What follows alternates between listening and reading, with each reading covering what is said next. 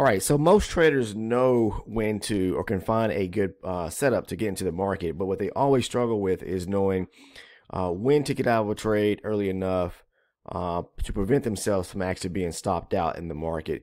A lot of people will take trades and the market will come back against them, and they'll try to hold on to it, thinking the market is either going to push uh, to a, another level or zone of interest. Um, and then it just comes back against you and stops you out. So there are some signs and things to really look for uh, if you are trying to hold a trade and at the same time you are uh, trying to maximize profits as well. But you need to know what to really kind of focus in on so that you don't get uh, tricked or trapped into uh, becoming liquidity and the market stopping you out, meaning running your stop loss. So let's take a look because I want to show you, just using an example um, and how I do how you know how I go about uh, holding trades, but then I also look at momentum in the market. Meaning, if I'm taking a short entry, which I'm going to show you, uh, for example, right here, this was a supply zone. You can see the aggressive area of selling. But if you're a first time viewer here on the channel and you don't know anything about supply and demand, first and foremost, please stop and do yourself the biggest favor to understand or at least get a general understanding of what supply and demand is, is really all about. Um, the, the key focus in, in trading supply and demand is understanding what the banks and institutions are really doing, okay, in a sense.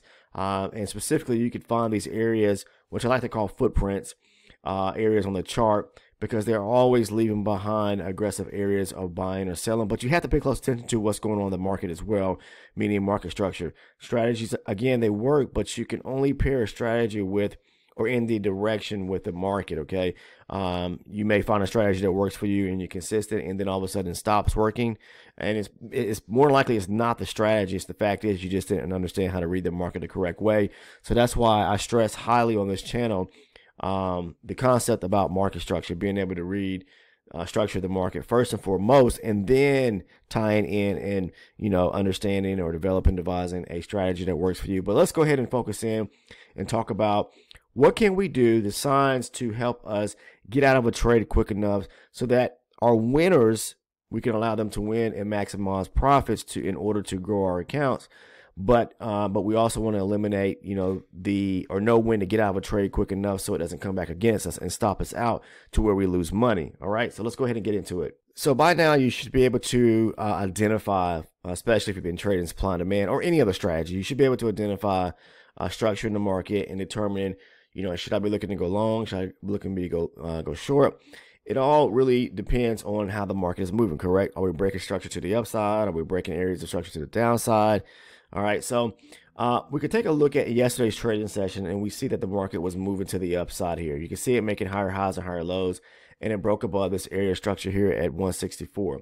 So as it's moving to the upside and doing that, you know, we're looking for demand zones or demand setups areas in which we can look to go long until the market um, changes the tide or the trend actually changes to where we were moving higher, but then it starts to break structure back down uh, to the downside, and then we can look for short opportunities. All right. So there's a kind of a two way fold or two way street situation here where the market is uh, moving higher here, break structure, and then it makes this high up here okay, which means it must have hit some area of resistance uh, or possibly even an area of supply off to the left hand side of the chart. But either way, we're just focusing in on an example here to show you signs in which to look for um, to get out of a trade. So basically, a simple strategy that will uh, that you can kind of gauge and looking at just momentum within the market. All right, you can use your 60 range chart, or you can use a lower time frame or lower base chart like the 12 range. Um, so because we're using a lower base chart to get into a, a trade, correct? Uh, based on uh, zone location or zone creation. So the market moves up here to this area, as you can see right here, and then it moves to the downside. Okay, so we break structure below. So if we were once breaking structure to the upside, and then the the the, the uh, tide changes to where it now is breaking structure lower, then we want to look for we can look for an opportunity to go go short, right? So it's kind of um, a two-way street here because we have we're in between this high, excuse me, this low here and this high right here. We broke structure here, but we broke structure here, meaning we broke structure to the upside, but then we broke structure to the downside. So you could be looking for a two-way street there to where you can look for maybe shorts to go short or uh, maybe down to an area of demand, okay, or maybe an area of demand back up to an area of supply. So just be careful when the market is kind of uh, in between a um, in a in between situation where you have, say, for example, here it made a low, now it has a high here, and it's breaking structure lower. But, anyways, this was a supply area or zone right here. Okay, the market ran down lower. We got aggressive selling, break structure. All we do is wait. We go ahead and mark the zone up, of course. And it's this is an untapped zone, okay, where there's a gap at back at the zone. If you are questioning and maybe saying, well, what, what do you mean by gap or untested area? I talk about that and stress it in many, many videos. So spend some time watching the videos. The more you watch the videos, the more you become educated. So just get a pen and pad and start taking notes. The market pulls back to this zone right here. And then once it does that, we're just looking for, again, the remaining portion of the steps that take place with or to unfold within the strategy. Okay. So at this case right here, um, if we move down to the lower time frame, then we can find, you know, our example for our entry. Okay. So the market taps into the higher time frame or higher base chart uh, zone, that, that rectangle right there. Uh, that blue rectangle area. This is my lower time frame, my lower base chart here, uh, the 12 range. And all I'm looking for is, is, is for the market to break structure to the downside and to set itself up to where we get a supply area. So it pushes lower, pulls back, lower high, breaks, you know, breaking structure right here, pulls back, creates a small area of supply right here, looking for the pullback. No, it doesn't pull back to a tick to tick almost. Uh, we're probably about two or three ticks right there. And that's fine. A lot of times they like to play games like that. But when I see things like this and the momentum is to the downside, we broke structure from the higher base chart and then it sets itself up to where I see a zone like right here. And we, we, we are within a couple ticks from tapping into the supply zone or this untested supply zone right here. I'll take the trade if the momentum starts to, to shift back again to the downside, meaning we're still, you know, bearish, showing me bearish momentum. And it does that. It doesn't come all the way to the zone, tick for tick, like two or three ticks away. And then what it does is we get a nice bearish candle to the downside, closing with the next bearish candle. That's enough momentum to a bearish momentum to the downside for me to be interested in going short because we're already at a higher base zone uh, area of supply. This this this box right here, this rectangle. Okay.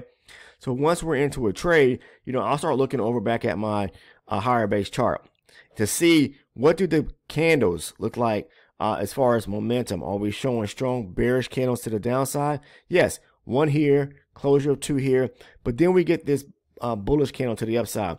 But what I'm focusing in on, because we do have this pullback to this key area of uh, supply right here, where we broke structure right here, when we have a structural break like this to the downside, all right, and the market pulls back to it, I'm looking forward to run the lows here, and specifically because we haven't really broken any key area of or minor area structure back to the upside here um, as it retraced back to this zone here, the supply zone. So I'm looking forward to take out below here at 128.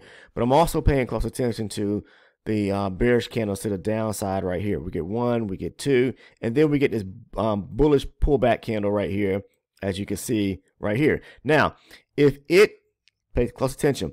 If it closes above, all right, say for example here, this bearish candle right here to the, to the upside, then I'm going to be interested in probably going ahead and getting, getting out because the next candle may start forming to the upside being bullish as well.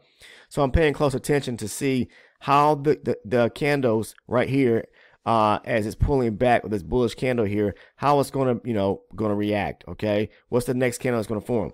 So this candle here, this bullish candle here closes right here, but the next candle is bearish, which tells me that we still have bullish, I'm assuming still bearish momentum or bearish interest to continue to the downside right here. So uh, it continues pushing lower. All right. So if you notice right here, this bullish candle, it, it didn't close above this last down bearish candle where we had this momentum to the downside. It did pull back, it closed, but the next next candle, like I said, was was bearish to the downside. If this bullish candle had continued pushing to the upside here and closed above this bullish candle, I mean, excuse me, this this last bearish candle right here would have gotten out the trade, of course, um, because it's a strong signal that is bullish momentum back to the upside. So, you know, to protect things, because more more than likely, um, if you are getting into a trade, you're getting into it in this area right here somewhere. Okay, especially when you look at your lower time frame. But I'm looking again at my higher base chart here to see if you if you're using a higher base chart and you start to you can you can really identify the momentum by looking at these you know these candles here, um, these bearish candles.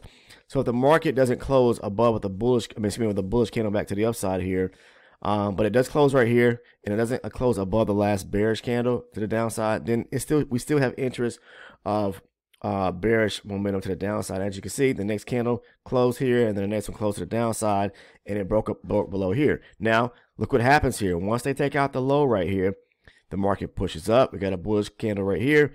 All right, now the momentum starts to shift.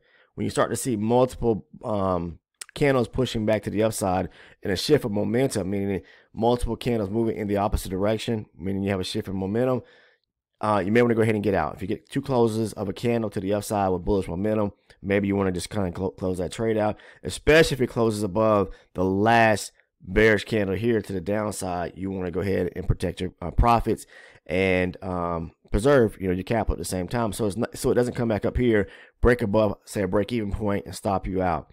All right. So once it runs this low right here, be very careful because you're at an area of support already down here at the lows and the momentum can shift back to the upside. All right, so if we look over here at the lower time frame, a lower base chart, the market runs down here to what 124. So we would have gotten to the trade, uh, basically probably right right here at 169. Okay, and if you tried to hold it to run this low down here um, below, let's see what I say, uh, yeah, 128 right here, but it came down to 124, I believe. So this is that low right here. So you're into a trade, okay? If you take a look at it from a lower base chart, look at the momentum to the downside. All this bearish momentum right here. Okay. Now, if you're asking, well, can I do the same thing if I start to notice where candles start to break back in the opposite direction on the once I'm in the trade I'm focusing on the the lower base chart yeah you could do so um, because you're taking the rejection once you get a break uh, on the lower base chart to the downside and a pullback to a key area of supply right here then you get the break and close of the candle below. That's the confirmation we need to get into the trade. It gives us the signal that the market is rejecting an area to push lower. You get all this bearish uh, momentum to the downside with these bearish candles right here. Again, look here. We get this bullish candle right here. Now, we're not quite to the, to the lows yet, right? No, we're not. So the, we get this bullish candle here to the upside, right? But it doesn't close above. It closes, but not above the last bearish candle. This next candle, it comes up. It starts to look like it's going to close above this area. It does push above it, but it doesn't close. It turns back around and ends up being a bearish candle. Bearish candle. Now pay close close attention here because this is maybe where you probably may want to get out the trade. If you're trading based on, um, you know, looking at the shift of the momentum to the upside or downside, if we're looking solely at the 12 range chart, okay, the lower base chart, because here, this is where we get this bullish candle to the upside, and then the next one closes above it. So maybe you're getting out here at 162. So, you know, in, in, in reality, you got in probably the trade maybe here at 170 or down here at 169, and then the market comes back to 162. Maybe you locked in seven points of profit right there. But you also want to keep in mind the higher base chart because, you know, it's going to be king in relation to, um, you know, the lower base chart. The higher base chart is going to have more power, okay, in a sense, or more strength when we're looking in terms of the overall momentum of the candles here. One uh, one bearish candle, second bearish candle, that's a lot of bearish momentum to the downside. So for me, I'm going to hold the trade just as long as it doesn't come back and um, break above. Uh, let's see here. My entry point would have been somewhere like right here. So I give myself a couple stops, um, a couple points breathing room right here. So maybe back at 175, 176 you know, at the back end right here where I would have potentially gotten to trade at. So 175, 176, the market never comes back to that area because again, the higher base chart it holds more power than what's going on on the lower base chart. But if you are, you know, someone that's very conservative and you want to lock in your profits and trading, again, we're taking the trades off of the lower time frame and you get the pullback here where there's momentum shift on the the, the, uh, the lower base chart, then go ahead and get the trade, lock in your seven points.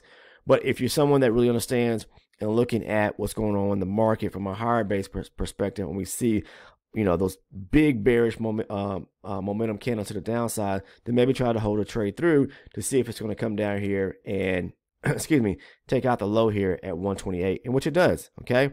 Uh, again, you can take a look back and forth between two charts to see, okay, you know, what's going on on the higher base chart. Have we broke above here with the bullish candle back to the upside? Nope. It flipped went back and pushed lower with two additional um, more bearish candles to the downside. So just pay close attention to candle formations as well. um, because that's going to kind of tell you about momentum in the market. You know, is it turning back around? Is it going to push back higher? We have multiple bullish candles of momentum to the upside. So pay close attention to things like that, and that's going to help you, um, for one, maximize your profits, be able to hold a trade longer through, and prevent you from getting stopped out just as well. All right. So hopefully this video helped. And if you're a first time viewer, you know you're not quite a sub yet. What are you waiting for? If you know, I, there's plenty of good content, valuable information that I cover here on the channel. Uh, I go into detail on many, many, many, many videos here uh, um, explaining the strategy and how I trade it. It's very profitable. Um, and the reason why I say so is because we have successful traders that trade pretty much similar to exact same way, but watching and they've learned through watching the videos here on this channel. They've educated themselves. I'm self-taught. I educated myself, and that's why I created these uh, videos and put them out here and have so much video content because I truly want to see people succeed and become profitable. So I'll make it accessible for you here on the um the the channel here. So all you have to do is get a pen and pad, take notes. Just as we have many that are part of our Discord community, and if you're interested in joining the Discord community, the link is down in the description portion of the video. It's free of charge to, to join. But we have many Discord members that have spent time watching the videos, coming over to the channel, you know, um, looking at you know looking at trades because they're on the Discord channel or server. There's a channel titled the Trading Floor, and that's where we as traders come together and we share, you know, our trading. Okay, uh, meaning screenshots of our trades, and I post pretty much there on the daily. And lots of times, what I'll do is I'll uh, create trade breakdowns. You know, I may post the trade over on the Discord, but um, I take those trades and I go into detail about them toward with you know uh, with our private community, and these are the elite channel um, supporters, elite channel members, and they receive the trade breakdowns. That's where I go into detail and really go into depth about the trades I take. So if you're interested in becoming an elite channel supporter, because that's what it is. You're supporting me and the efforts of me uh, being a content creator by providing this, you know, this valuable information to you. The trade breakdowns, again, if you want to become an elite member, is $6.99. All you have to do is you'll find the link right down in the description portion of the video. You'll see a link that says become an elite member.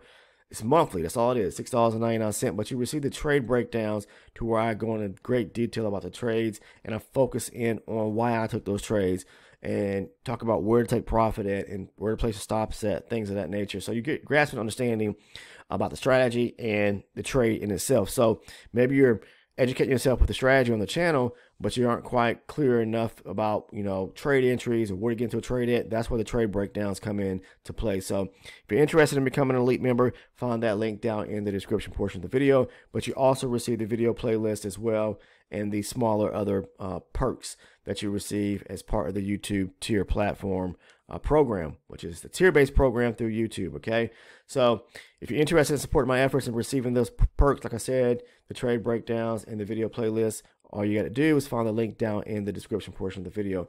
Outside of that, if you're not a current subscriber, please take the time to go ahead and sub by clicking on the subscribe button. Make sure to turn on all your post notifications. And last but not least, please do me a, the biggest favor and drop a like on the video if you found value in today's content. Um, I appreciate it. Thank, take, uh, take care.